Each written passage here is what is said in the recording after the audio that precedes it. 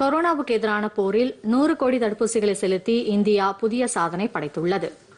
Corona பரவலை கட்டுப்படுத்தும் வகையில் உலகம் முழுவதும் தடுப்பூசி போடும் பணி தீவிரமாக நடைபெற்று வருகிறது.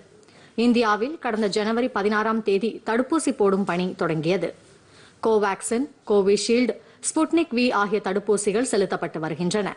இன்று காலை ஏழு மணி நிலவரப்படி நாடு முழுவதும் தொன்னூற்று ஒன்பது கோடியே எண்பத்தி ஐந்து லட்சத்து முப்பத்தி எட்டாயிரத்து எழுபத்தி ஐந்து தடுப்பூசிகள் போடப்பட்டன. இதையடுத்து காலை பத்து மணிக்கு முன்னதாகவே ஒட்டுமொத்தமாக போடப்பட்ட தடுப்பூசிகளின் எண்ணிக்கை நூறு கோடியை கடந்தது.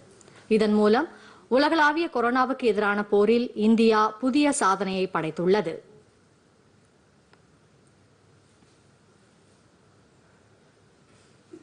நாடு இந்த வரலாற்று சாதனையை படைத்துள்ள பெருமைமிகு தருணத்தில் பிரதமர் நரேந்திர மோடி புதுதில்லியில் உள்ள ராம் மனோகர் லோகியா மருத்துவமனையில் தடுப்பூசி செலுத்தும் பணிகளை இன்று நேரில் பார்வையிட்டார்.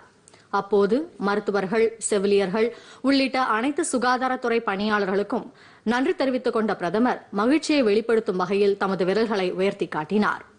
பின்னர் அவர்களுடனான கலந்துரையாடலின் போது நாடு இத்தகைய சாதனை புரிந்ததற்கு சுகாதார பணியாளர்களின் பங்களிப்பு அளப்பரியது என்று பிரதமர் பாராட்டு தெரிவித்தார். கொரோனா தடுப்பூசி செலுத்திக் கொள்ள வருகை தந்திருந்த பயனாளிகளுடனும் பிரதமர் நரேந்திர மோடி அப்போது கலந்துரையாடினார்.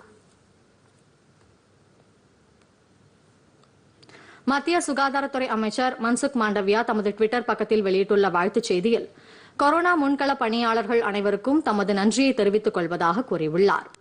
உலக சுகாதார அமைப்பின் தலைவர் டெட்ரோஸ் அதானம் விடுத்துள்ள வாழ்த்துச் செய்தியில் மக்கள் தொகை அதிகம் கொண்ட நாடுகளில் ஒன்றான இந்தியாவில் இத்தகைய பெரும் சாதனை படைக்கப்பட்டிருப்பதற்கு பாராட்டு தெரிவிப்பதாக கூறியுள்ளார்.